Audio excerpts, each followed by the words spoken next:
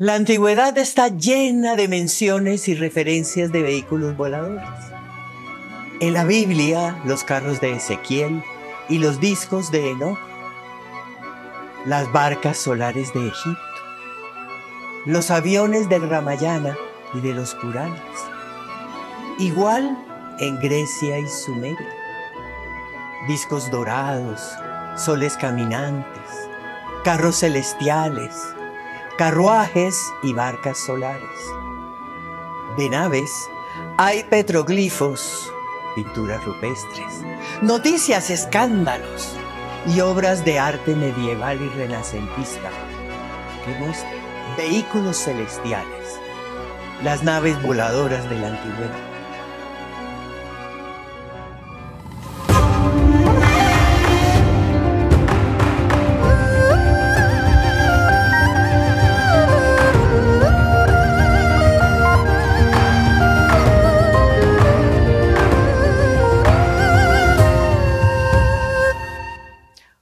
Amigos, soy Irene Robledo Strauss y ha llegado el momento de recuperar la memoria. Estas máquinas voladoras, este tema, esto no es nuevo. Está en toda la historia sagrada de la humanidad y en todo el origen de las civilizaciones. Y amigos, esto no es una sospecha, es una certeza, es algo absolutamente seguro.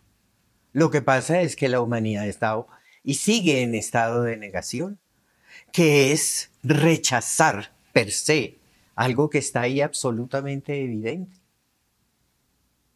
Hay narraciones antiquísimas de naves, narraciones que son exactas, francas, literales, donde nosotros no tenemos ninguna duda. OVNIs, y están en las bitácoras, hay documentos de eso ovnis el día del descubrimiento de América. El tiesto volador, por ejemplo, de Plutarco, que habla de un ovni plateado. O podemos mencionar los dos escándalos del siglo XVI, de Nuremberg y de Basilea. Vamos a hablar de eso, de los vehículos celestiales, las naves voladoras de la antigüedad. Pero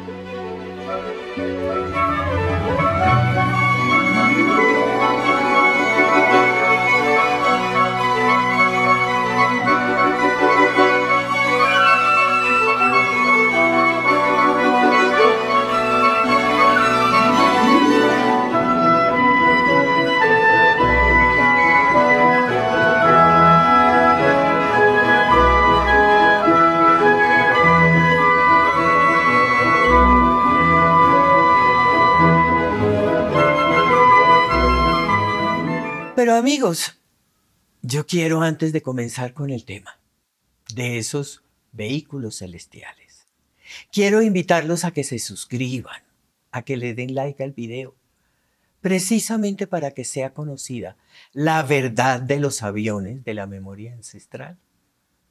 Los invito a que entren a la página de hildastrauss.com. Allí en el home van a encontrar el botón de radio programas de radio en directo o grabaciones pasadas. También encuentran las meditaciones express, porque hay que comenzar a meditar ya. Ahí, en hildastrauss.com, lo encuentran. Y vean el blog. Hay muchísimos temas tan interesantes y que pueden colaborar con toda esta investigación. Vehículos celestiales, naves voladoras de la antigüedad. Y amigos, siempre que yo hablo de este tema en radio, se arma un escándalo. ¿Por qué? Por no querer ver algo que está ahí, que es absolutamente evidente. Aquí hablamos de naves voladoras en la antigüedad, sean discos, globos, esferas, tubos, platos, carros, cilindros, lanzas, porque tienen distintas formas. Lo mismo que tienen muchos nombres. Vimanas, Merkaba, Vájanas, Vimana Astra, Ofanín, Galgalim, Chalkidri, todos con sus señas y con sus descripciones, con detalles. Ahora, aquí hay que saber leer. ¿En qué sentido estamos hablando? De una tecnología con una humanidad que no tenía esa misma tecnología. Entonces hay unas descripciones acomodadas a la época que podían hablar de más veloces que 200 caballos, porque no había carros, porque no había aviones. Nosotros en este momento podemos decir, eh, no sé, a unas velocidades match, no sé qué, porque es lo que conocemos. Entonces, estas historias y todas estas leyendas, esto hay que saberlo leer. Están citadas estas naves voladoras en Ezequiel, ahí en la Biblia, en el apócrifo de Enoch. Los Puranas describen los Vimanas. En el Ramayana están descritas las naves. Los egipcios señalan esas barcas solares y discos también. Y por el lado de los sumerios hay toda una descripción de las naves en esas tablillas cuneiformes. Hay una increíble evidencia. Esa tapa del sarcófago de Pacal en México, en la región de Palenque, que se conoce que fue un rey, rey longevo, curiosamente con todos sus huesos cubiertos de cinabrio. Y el cinabrio es un símbolo precisamente de energía. Y esos huesos cubiertos de cinabrio señalan iluminación. Y la tapa es un mecanismo, es un personaje manejando una máquina, una nave. Y eso lo dijeron perfectamente los rusos. Cuando la vieron dijeron, eso es un mecanismo, eso es una máquina. Y ahí comenzó y se destapó todo ese escándalo de la paraidolia. ¿Qué es la paraidolia? Creo que todos lo hemos hecho, nos hemos acostado en un prado grande y hemos mirado al cielo. Y hemos visto rostros, formas. Ay, ahí parece un conejo. Y miren, tiene la cara de un gatico. Parece pero no es. Esa es la pareidolia. Aquí en Colombia hay que, hay que mencionar los aviones Tolima, que además son conocidos como artefactos Quimbaya, pero no son Quimbaya, son Tolima, hechos en una aleación de oro y de cobre, tumbaga, así le decían, son unos aviones muy sofisticados porque son aviones y no son juguetes. Son aviones reales. Aviones diseñados para este planeta, un planeta que tiene esta atmósfera, para volar en esta, en esta atmósfera, en este planeta. Y en el Museo de Oro hay algunos, porque la verdad son poquitos porque todas estas reliquias arqueológicas hermosas han sido saqueadas, vendidas, fundidas, y existen muchísimos aviones Tolima alrededor del mundo. Pero el diseño, el diseño es un diseño real. Hay que hablar, por ejemplo, de 300.000 petroglifos de Valcamónica Valca Mónica en Italia es tal vez el sitio que tiene mayor cantidad de referencias precisamente de gente y de naves que llegan del cielo. Un arte rupestre, tal vez el más grande que hay en el mundo aunque lo neguemos, aunque digamos que es para idolia, aunque digamos que eso no es cierto, que eso es absurdo. Ahí está la evidencia. Nosotros no podemos seguir en ese estado de negación y nosotros no podemos seguir diciendo que eso no existe, porque es que las imágenes son absolutamente impresionantes. No sé, es como si en el futuro descubren más dentro de, no sé, mil años, descubren un avión y decimos que ese era un aparato, una persona dice, eso parece que es un aparato que volaba, parece que es un avión. Y de pronto otra persona puede discrepar y puede argumentar que ese es un carro con unos adornos laterales. Puede ser. Pero ¿y la evidencia y la realidad? Eso tenemos que tenerlo en cuenta. En África, en esa parte del desierto del Sahara, en Argelia. Hay también un arte rupestre bellísimo, el arte de los Tassili. Esos son más o menos unas 15.000 pinturas, a las que le dicen tipo extraterrestre. Absurdo, ¿verdad? Como si eso fuera una moda. Esto es tipo extraterrestre. Y resulta que ahí hay chamanes, hay unos gigantes con unas naves impresionantes. Ahí está particularmente el chamán de los hongos, que es un ser cósmico, bellísimo, no descifrado. E inclusive cuando ustedes buscan las imágenes, hay uno que está como más armado, como tratando de ver y de simular el original. Busquen el original, está en unos terracotas bellísimos, para que lo vean un poquito en detalle. Nos vamos para Australia, a donde los bonjinas. Hay unos dibujos absolutamente hermosos de los seres de las nubes y de los espíritus de arriba.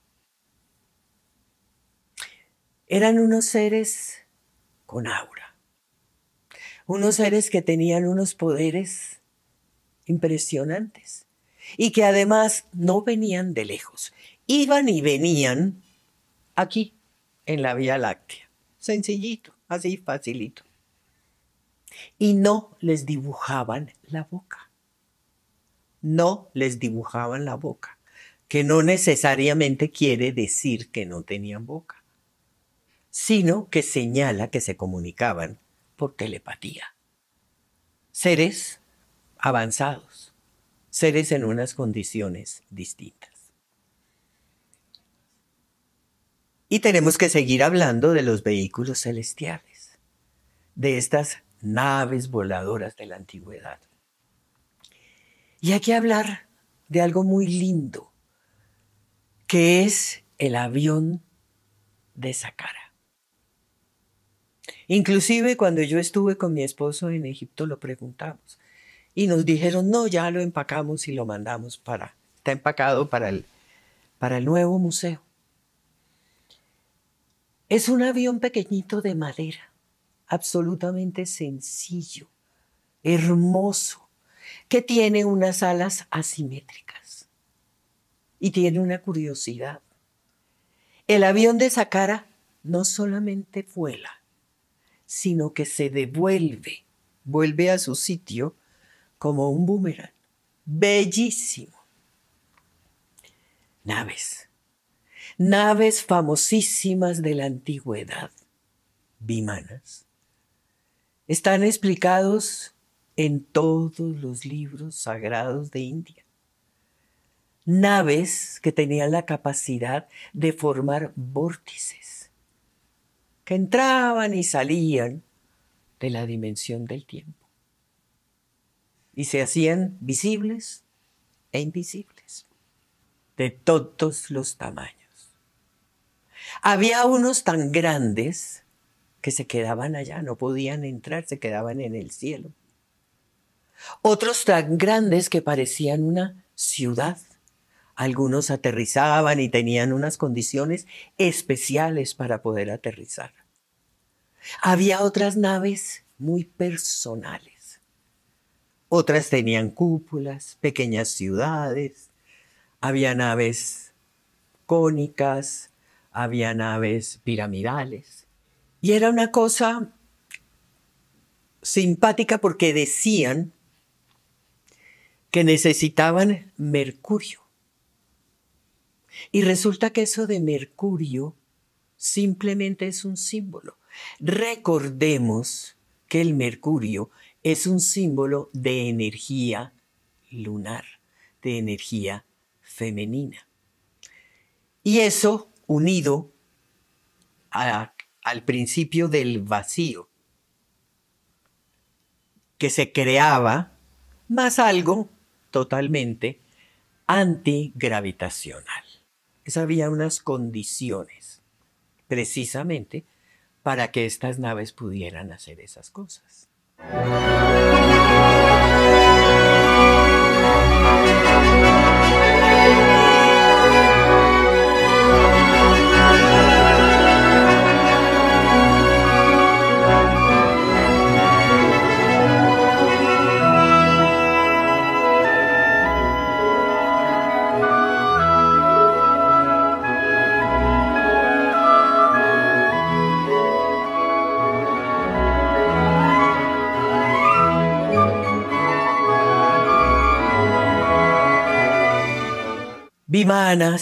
Pushpakas, pájanas.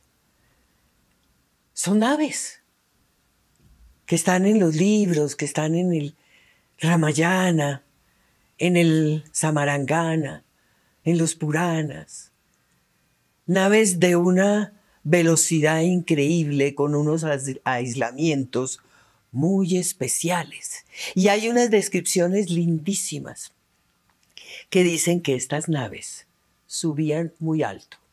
Cuando hablamos de muy alto es a la estratosfera. Se movían un poquito y volvían a bajar. ¿Esto qué significa? Que cuando ese vehículo, esa nave está por fuera de la atmósfera, espera, y hablemos solamente de la rotación de la Tierra, y volvían y bajaban y ya estaban en otro sitio. Hablaba también como que eran unos discos, como unos, ¿qué decimos? Unos segundos soles, unas pequeñitas esferas. Naves, naves, naves, naves.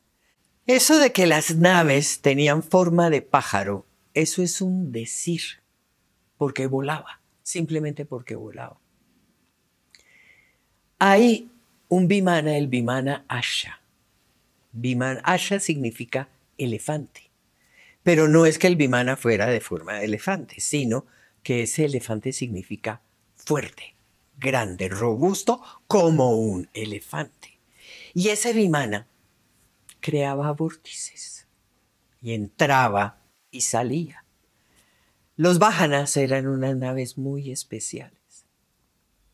Cada una de estas naves, totalmente descritas, con mucho detalle y con muchos símbolos. Hemos oído también hablar de la nave Garuda o Garuda, que es como se pronuncia, que es un vimana superior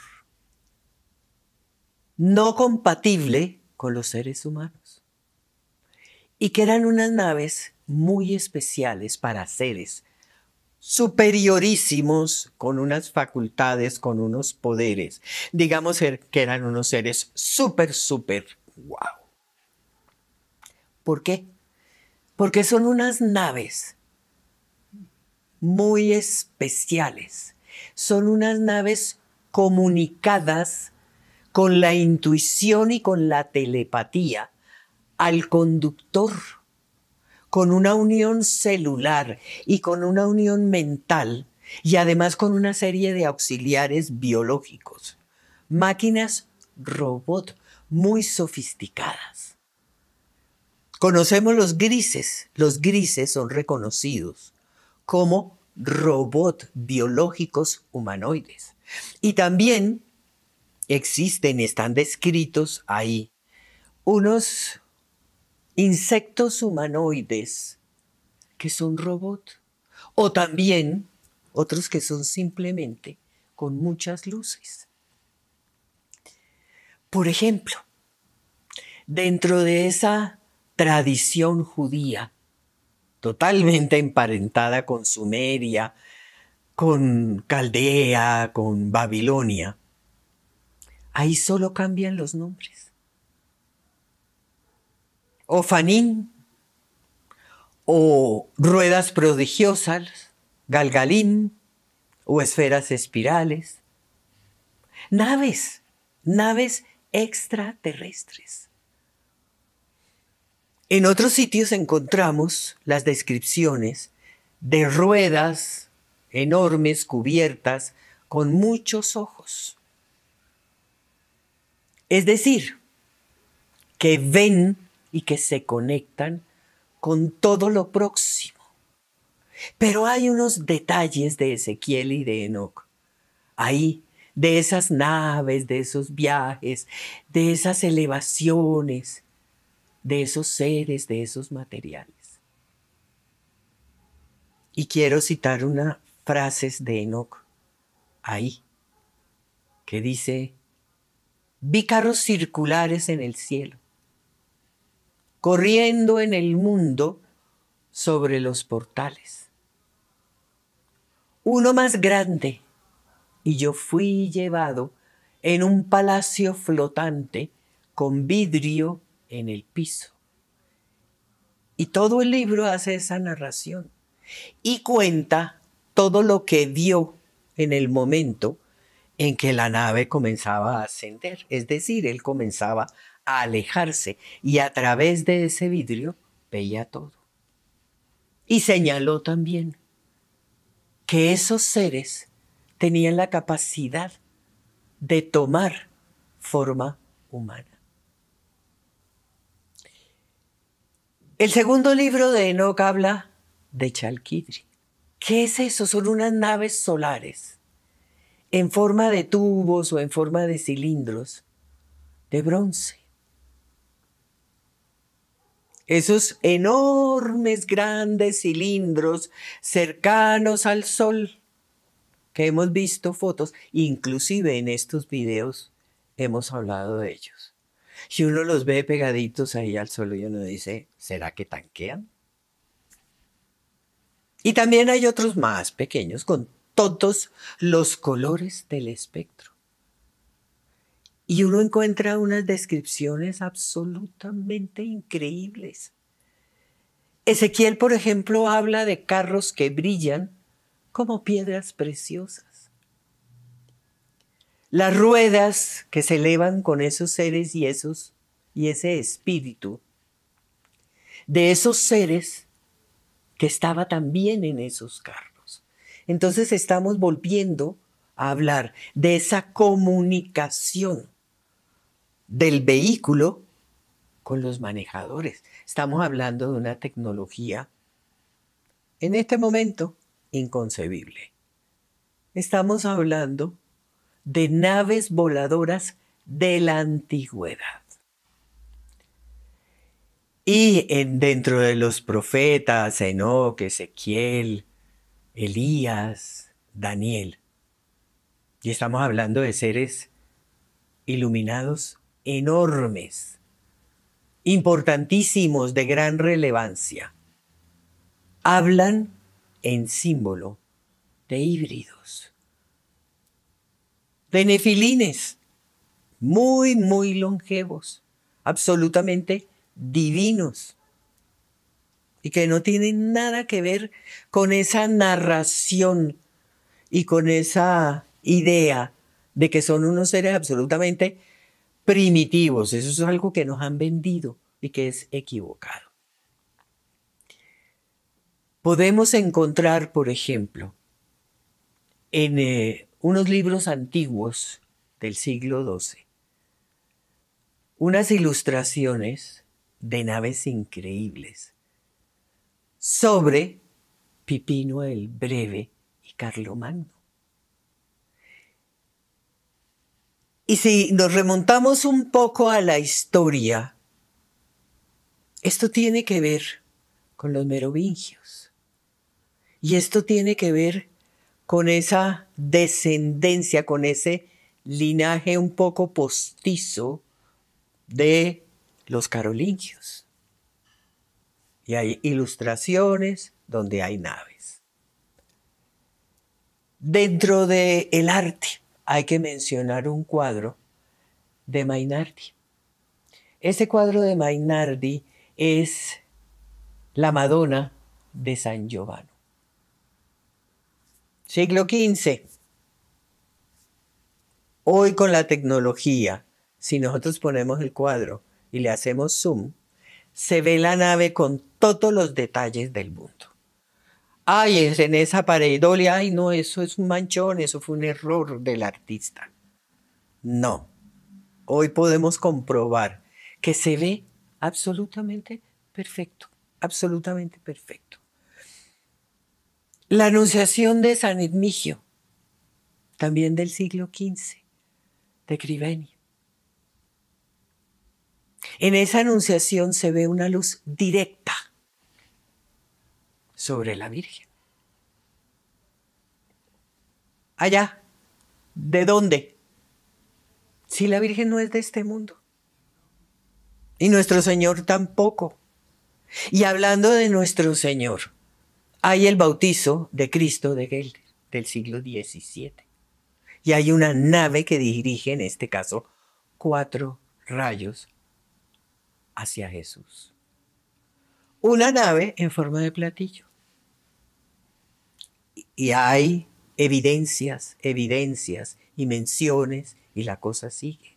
Y todo esto nos demuestra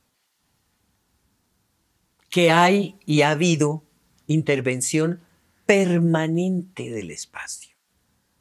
Y hay conciencia de eso en todos los tiempos. En este momento estamos teniendo conciencia, porque los estamos viendo. Ya no es que nos están contando la historia, los estamos viendo. Entonces, hay una conciencia en todos los tiempos y en todas las civilizaciones.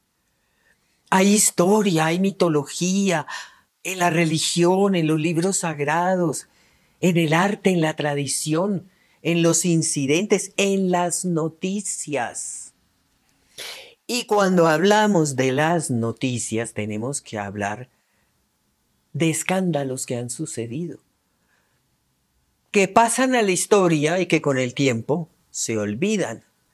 Pero yo les mencioné a Nuremberg y a Basilea, dos sitios que en el siglo XVI hay historias, hay escritos, que hubo unas batallas allá en el cielo, entre unas esferas y unos cilindros que brillaban en el cielo. Y ambas fueron noticia importante y fueron un escándalo. Pero son de esas cosas tan evidentes, tan raras, tan extrañas, que mejor chun chun chun las escondemos. Y pasó exactamente en el mismo siglo en Nuremberg y en Basilea, donde se veían esas naves, esas esferas, esos cilindros, aparecían y desaparecían. Claro, naves que podían cambiar de dimensión. Otro dato de esos bien curiosos. En el siglo XIX, hace poquito, en Japón, vieron una pequeña nave que flotaba, muy metálica, con cristales, con ventanas. Y de esa nave salió una señora, una mujer rara pero la señora como despistada, como si hubiera tenido un accidente. Como cuando se da uno un golpe o algo y dicen, yo dónde estoy, ¿esto qué es? ¿Qué pasa aquí? Y hay noticia de eso. Y esa mujer volvió y se metió en su vehículo, se embarcó y desapareció. Siglo XIX. Hay millones y millones de evidencias Además, hay que recordar la última noticia, que fue precisamente esa desclasificación de una partecita, pero desclasificación de documentos de ovnis de parte de Estados Unidos. Y esto era algo absolutamente impensable hace relativamente pocos años. Bueno, pero ocurrió, ya por lo menos estamos saliendo de ese estado permanente de negación.